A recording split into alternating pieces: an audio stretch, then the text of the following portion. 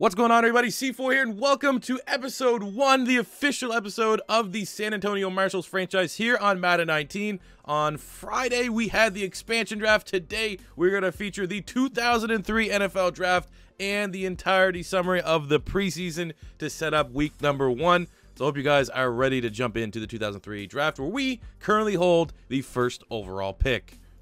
Welcome to the 2003 National Football League Draft. Oh boy, with the number one overall pick, we can go so many different ways here for the Marshalls. I mean, we look at quarterback here. We got Carson Palmer. We're going to put him on the short list. We're going to build our short list. We're going to walk you through the short list. Byron Leftwich out of Marshall has a really, really strong arm. Same with Kyle Boller. You got Rex Grossman from Florida. Not necessarily what we're looking for here. Seneca Wallace brings some dual threat ability. Um, but ultimately, there's not a, there's not a whole lot there. There was some buzz about undrafted free agent Tony Romo here from Eastern Illinois having a really nice pro day. But, uh, I mean, that's someone we can start to focus on in the later rounds. At the running back spot, I mean, we do have He Hate Me. We feel pretty confident with He Hate Me. Uh, but definitely the top two backs here in this year's draft class are very promising in Willis McGahee and Larry Johnson. Uh, looking for later round backs, there's not a whole lot here in this draft class in terms of late round value. So I think we're probably going to be sticking with He Hate Me for our running back for the foreseeable future. At wide receiver, we have Charles Rogers, who's coming as a very hype prospect out of Michigan State. So we'll tab him up. Andre Johnson might be the better of the two, though. So we're definitely going to keep an eye on him. As, you know, again, it comes back to we lost out on Jerry Rice. We gambled that we could get Jerry Rice, ultimately lost out on him. So getting an exciting playmaker like Andre Johnson or Charles Rogers would go a long way with the fan base. Going from that into the second round, Anquan Boldin is a very nice prospect. You have Nate Burleson, White Lightning, Kevin Curtis. Uh, also brings some nice playmaking ability, speed on the outside, which is kind of how we've built our roster. Uh, tight end, Dallas Clark. A lot of reports have him as one of the most well-rounded tight ends uh, that college has been produced in quite some time. Iowa is kind of a tight end factory, but you need to look. I mean, you also have Jason Witten here out of Tennessee. He's getting a lot of buzz in the third round, but the strength of our team, probably our best playmaker right now, is at that tight end position, so I'm not overly worried. Same thing kind of goes with the outside. The tackles here, our left tackle and right tackle are both very solid for the time being, so we're not going to use a big time investment on one of those picture, uh, picks. But into the interior, I mean, we definitely could look at beefing that up. So Steinbach, Manuwai uh, could definitely make a lot of sense at center. Um, I mean, not a strong class for center. Dan Koppen from Boston College uh, probably has the most acumen right now. Uh, the other guard spot, let's see what we got here. We got Taylor Whitley. Yeah, David Diehl from Illinois. He might be all right. A little bit of a flyer pick, but again, guards are not really the strength. Offensive line in general is not really the strength of this year's draft class. Taking a turn to the defensive side. At defensive end, uh, we got a couple hype picks here. Tyler Brayton out of Colorado, but our, our scouts didn't really come back with a overly positive report uh, from him. Uh, but we have got strong reports here from Calvin Pace out of Wake Forest, smaller school. Same with Osi Umenyiora, two guys that have dominated a lower level of competition uh, in the college game that thinks our scouts anyway. Same with Robert Mathis here, can definitely make the transition to help out our squad right away. Uh, D tackles in the interior, we're actually pretty all right there, but Kevin Williams from Oklahoma State has got a lot of A++ plus grades, especially when it comes to stuffing the run. So he will be a target we look for if he just so happens to slip out of the first round and is available in the early uh, stages of the second round where we'll have our very high pick, obviously. Actually, I think we have two picks, too. We also have the Seattle Seahawks second round pick, which is very nice. Lower the linebacking core, we have Terrell Suggs, who has like set the sack record, I believe, in NCAA last year. Uh, out of Arizona State. So that is a pick that we definitely need to weigh a little bit. It's it's ultimately going to come down to do we want, in reality, probably Terrell Suggs or Andre Johnson uh, at this point. Not a lot of depth behind T Sizzle. I believe that's his nickname uh, at outside linebacker, so we, we also kind of need to weigh that just a little bit. Lance Briggs out of Arizona, really good cover linebacker. Uh, I've heard that the Chicago Bears are very high on drafting him, so we might need to overdraft him if he just so happens to be in play for our roster. Not much help here in the interior, but we do have Jamie Sharper, who would kind of like our tight end is the strength of our defense. Like that's the one position I think we could kind of be all right about. We have Terrence Newman is currently the top available cornerback out of Kansas State. A lot of scouts think that his athletic ability will be able to play for decades in the National Football League, kind of along the lines of Darrell Green from the Washington Redskins. So that is definitely something that you want to look at. Marcus Trufant's also a nice option at cornerback. You have Nnamdi Asomugha, Charles Tillman. I think his nickname was Peanut. That's kind of got a little bit of a giggle around the draft room, but he is a very nice player. Um, supposedly is excellent at forcing fumbles, which is kind of unnatural for a cornerback. Usually corners, you think they're just more so lockdown. Asante Samuel at a UCF. Ike Taylor from Louisiana College, the partner in crime to Peanut Tillman.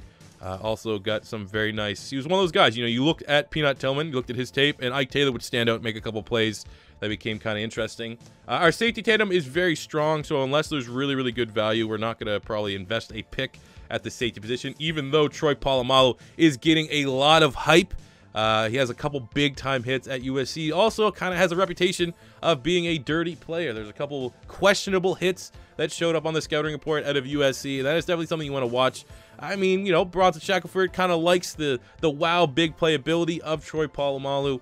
But, uh, you know, you definitely need to be wary of that. And maybe at this point in time, because he has that negative reputation, we can hope he could be one of those guys that slips out of the first round, maybe because of the question marks. And if he's still there at pick one in the second round, we'll be all over that. So kind of setting up our short list here of prospects. I think it's pretty clear at this point that the one player that stands out to us in terms of marketability, because right now we're kind of lacking that big marketable star, is going to be Andre Johnson, the wide receiver out of Miami. 6'3", 227 pounds, running 4'4", top in the vertical, top three in three cones, second in bench press. He is just a complete game wrecker outside at wide receiver. So that is who we're going to select with the first pick in the 2003 NFL Draft. Andre Johnson from Miami. 81 star dev wide receiver. You wanted a freak of nature. We got one. 92, three, 92 speed, 93 acceleration, 82 catching, uh, great intermediate, great short route running, and he is going to be an absolute all-star for this team. In the second round, we absolutely have to get better in the interior of our offensive line. So we gotta we gotta reach at this point. There's still some very nice prospects available here. Osi Umenyiora, you have Nnamdi Asomugha slipping out of the out of the first round, still available in the second. But we have to just reach on the for sure thing right now available on the offensive line. And uh, our scouts gave us thumbs up that Vince Manuwai will be that option, putting 32 reps on the bench press. Uh, really good in pass protection for Hawaii. They're running a little bit of an air raid offense. So it's exactly what we're probably going to have to rely more upon. And we're going to select him. And that is an absolute home run pick for our front office. Projected to go in the third round. People just scratching their heads about this selection. Why are they reaching with, you know, someone like Nnamdi Asomugha at a Cal, Cal Pac-12 All-Star? And we we get the offensive lineman from the gimmicky air raid offense in Hawaii, and he emerges as a 76 quick dev guard. Vince Manuwai, 88 strength, uh, and there we go, man. That is a big get for offensive line. He is a day one starter. And with our second second round pick, uh, it comes point time. We got to look at the edge rush. And Osi Umenyiora, pretty much a consensus second round pick here. Uh, we need to get better. We need to affect the pass right away with great three cone, great 20 yard shuttle. Uh, top five in 40, plus he is 21. So he's a very young player, a lot of football ahead of him, a lot of time to develop him into the player that we want him to be. So, you know, even though he's a small school player out of Troy, we're not too worried. And we're going to make full confidence, like the Manuwai pick, that we're making the right decision here. And we're going to select Osi Umenyiora, defensive end from Troy. And he comes in as a 78 star dev player, 84 finesse move, 80 speed, 84 acceleration. Uh, got good strength, got good athletic traits. Definitely needs a work in progress in his power moves and his tackling and his block shedding to become a complete defensive end. But we're very excited that we're going to be able to tap that full potential on the defensive side of the ball.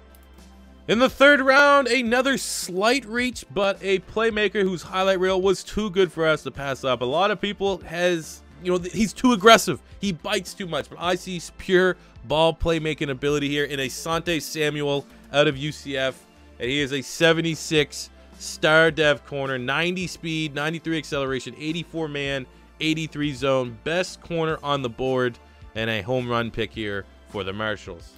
So as the board's kind of shaken up here in the fourth round, an interesting option has slipped. Kyle Boller out of Cal had a lot of hype as a first round QB, is still here in the fourth. And while, you know, I, I do like Randall Cunningham, while I do like the reports saying that next year's draft class may be stronger for a quarterback. I think getting a first round QB in the fourth, it's worth the gamble just to add that depth. Maybe Kyle Boller can emerge to be that next great quarterback uh, from the Pac 12, from SoCal. So I, I, think that's just too much value to pass up. From the fact that I, I, I, you know, I'm not a huge fan of his game, but so many people can't be wrong. A fourth round pick is not that bad of an investment in case he does tap into his potential. So we're gonna select Kyle Boller here in the fourth round. 74 quick dev comes in with 93 throw power, 84 medium accuracy, 83 short. That's not that bad, man. Awareness is kind of low. Good athlete, too. 80 speed, 83 acceleration. Might be able to learn a thing or two behind Randall Cunningham. Now, there's no plans. I'm not going to put any label that he's going to be our franchise quarterback. He's a fourth round pick. He could, you know, hit his ceiling of being a backup, but uh, it's nice stability to have uh, at least a somewhat promising prospect at that quarterback position, given the fact that Randall Cunningham is 40 years old.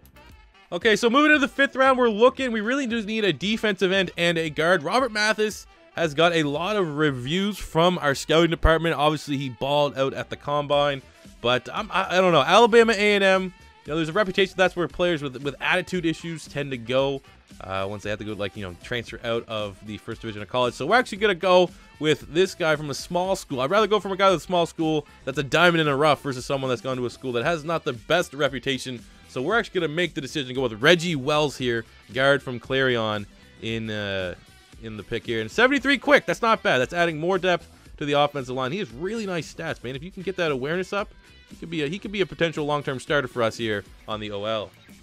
In the sixth round, we're pretty much in a point to just go best player available. But I'm liking the report here on Tony Gilbert, the middle linebacker from Georgia. Uh, very strong, put up the most reps in the bench press. The skills, the scouting report came back pretty good. So let's select him. He is a 72 quick, nice depth player. We'll be able to contribute on special teams right away.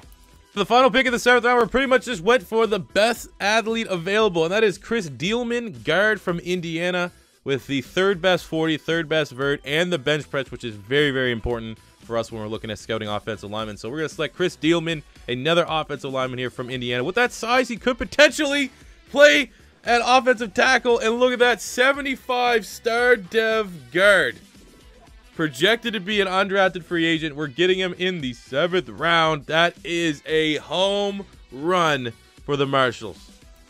So a draft recap for those of you that just didn't miss home run after home run. We selected Andre Johnson out of the U with the first overall pick. In the second round, we get Vince Manuwai, somewhat questionable with some of the bigger names there, but we're continuing to build up the offensive line. Osi Umenyiora at pick three in the second round, defensive end out of Troy. We got Asante Samuel, a reach on a lot of people's boards. He was, you know, pretty much a consensus fourth round pick. We got him in the third. Our scouting department did a great job as he will probably have an opportunity to be our starting nickel this year. Kyle Boller in the fourth round. He was a projected first round QB. Just, just, you know, a guy, a flyer for us at this given point. We're not going to consider him that first round grade. We're not going to consider him a franchise quarter. Right now, he is the backup to Randall Cunningham, and he's got to prove otherwise if he wants a better, flashier title. Uh, we got Reggie Wells here in the fifth round. Lots of criticism, you know, with a guy, talented small school player in uh, Robert Mathis still available. We decided, you know, screw it. We'll go Reggie Wells and uh, live by the sword, die by the sword. He's 73. We got a middle linebacker here, Tony Gilbert. He is a 72. And then maybe the best pick of the entire draft, Chris Dielman, protected UDFA. Even though he had an insane combine, he was regarded as a raw prospect when it came to his technical game. 75 star dev projected to be UDFA.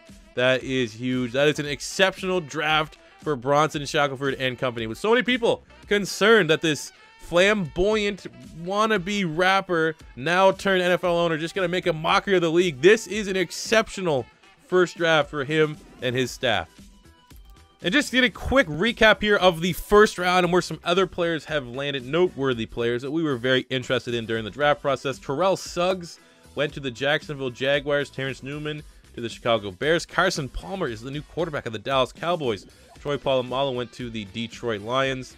Um, we got Calvin Pace going to the Buffalo Bills. Kevin Williams to the Cleveland Browns.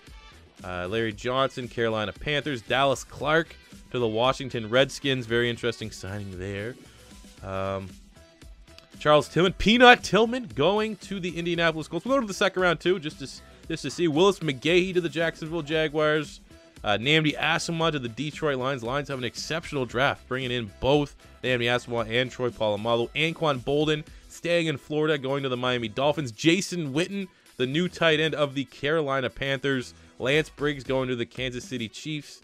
And uh, that will pretty much round that up. That's very interesting new homes, but I still would like to think that my draft, our draft for the San Antonio Marshalls, gets the number one grade, A plus plus grade in my biased opinion. So the roster has been built. We are now an 80 overall team, 79 offense, 85 defense. In the truest form, we are still an expansion roster. We're looking at a couple brand new additions. We got Manuwai and Dielman, the two guards we selected in the draft, will start. Andre Johnson, the number one overall pick in the 03 draft, will clearly be our starting wide receiver on the outside. We'll actually make Kyle Boller here the backup to Mr. Randall Cunningham. On the defensive side, we got Osi Umenyiora will be starting. We got Sam Adams, who was our big get in free agency. He will be starting at defensive tackle. Uh, we got Jamie Sharper here leading the back of the defense. Seahorn, uh, Sante Samuel will be our starting nickel. As uh, we got all of our ducks in a row here as we enter the preseason. We have games against the Falcons, Saints, Patriots, and Bears. What we are going to do is pretty much what we do every preseason. We're going to sim until week three. Week three is where we're going to feature a lot of our starters, and we'll wrap up this episode as we get ready for week one on the road in ATL. All right, today in the preseason, it's the preseason. No one plays defense in the preseason, so we're just going to try to show off our offense. All of our starters out there, Randall Cunningham lining up in the shotgun on the first play in the home game history of the Marshalls. He completes it with tight end Billy Miller for a gain of seven. Great start to the drive. And we got to punt it. Oh, let's go, Billy Miller. Billy Miller, franchise tight end right there with the hurdle in the preseason. Mike Vrabel brings him down with the tackle. All right, we are now here in the red zone, first and goal, down three to the New England Patriots. We got Billy Miller, who's on absolute fire. We're actually going to try to fit this one into him here, which we do. The connection between Cunningham and Miller looks to be a insanely productive one here in the early stages of the preseason. Will it continue throughout the regular season? It's another story. All right, we got a third and eight here with eight seconds left on the clock. A one-point lead as we want to try to get one more play off to potentially get a touchdown before halftime, not settle for a field goal. Probably the last going to be the last play here for our starters. We got plenty of time. Oh, look at that timing. Fit that in. Oh, he goes for the... Ah, he went for the one-hander, Brandon Stokley. Credit where credit's due. But uh, not a smart play. We should have just got that play over quicker and kicked the field goal. But still, a one-point halftime lead for the Marshalls against the Patriots in week three of the preseason. Let's go, he hate me. Oh, let's go, he hate me. Oh, let oh, there's a penalty flag. Oh, that's probably gonna cost us. God damn it! Why does it always cost us when things go right? You know, it can't ever be like a one-yard loss. Oh, let's bring it back for a holding call. Of course, you definitely know he hate me. He's letting the refs here right now. Can't believe it. Holding on the offense. The Zebras just take six off the board here for the Marshalls.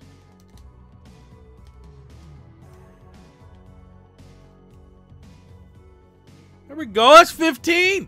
That's okay. Kyle Boller might be earning himself some some clout here to move up the depth chart. That was a perfect pass. All right, first goal on the eight after that big pass and face mask call. So we got Kyle Boller here moving out of the pocket, and he fires it in to the back of the end zone, and it is caught. 87. I don't know who you are. You're trying to make a spot here on the roster. Dawson with a nice little tutty. But I'm loving the way Kyle Boller showed that poise. You don't see that in most rookies. But then again, he was a first-round caliber quarterback that slipped to us to the fourth round. All right, after defense got us back into it, we're just, we can win this. Maybe. All right, 58 seconds left. Kyle Boller, first play. Let's get a big one. Let's get a big one here. Get locked up. Lead your wide receiver, which he does, and he makes the connection with 84, and he brings it all the way up to the 15-yard line. The Marshalls are rolling.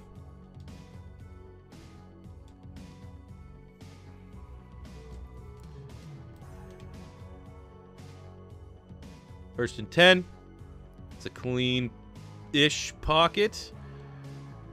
Is B wide open? Oh, that is... Oh, you gotta make that pass. We'll throw that up to rookie jitters or something, but that was... That was great protection from the offensive line. Wide receiver finally got separation in the end zone. You gotta connect with that one. All right.